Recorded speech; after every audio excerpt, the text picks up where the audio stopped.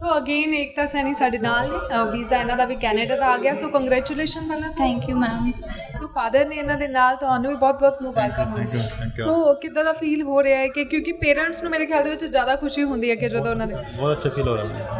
ਜੀ ਤੇ ਅ, ਇੱਕ ਤਾਂ ਜਿਵੇਂ ਕਿ ਲੈਂਡਮਾਰਕ ਦੇ ਕੋਲ ਤੁਸੀਂ ਆਏ ਕੈਨੇਡਾ ਦਾ ਤੁਹਾਡਾ ਵੀਜ਼ਾ ਲੱਗਾ ਤੇ ਕਿੱਦਾਂ ਦਾ ਐਕਸਪੀਰੀਅੰਸ ਰਿਹਾ ਤੁਹਾਡਾ ਲੈਂਡਮਾਰਕ ਦੇ ਨਾਲ ma'am I am really satisfied with the services of Landmark immigration because मैंने काफ़ी जगह काउंसलिंग ली पर वो सेटिस्फेक्शन नहीं मिली जो मुझे लैंडमार्क में मिली है Okay. So I trusted and I applied my file and I got my visa within a fourteen days so it's really amazing experience so profile ਆਪਣਾ ਥੋੜਾ ਜਿਹਾ ਦੱਸੋ ਕਿ फाई किया कि स्टडी कितनी हैगी है?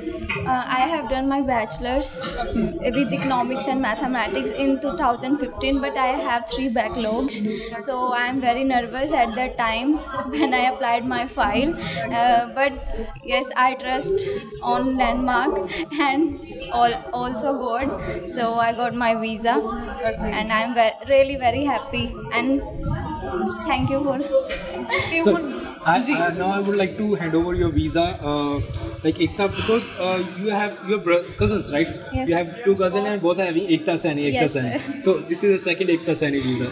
So, uh, like, could message them चाहते हो student who they are planning for their further career, for their further, they're still waiting for the September intake या apply करना चाहते हैं कोई message September जनवरी students लिए? यस मैं सिर्फ़ इतना बोलूँगी कि जिन बच्चों के बैंड नहीं आते वो अपना बस होप मत छोड़े because practice makes a man perfect and also एक दिन होगा आपका हार्डवर्क का रिज़ल्ट मिलता है.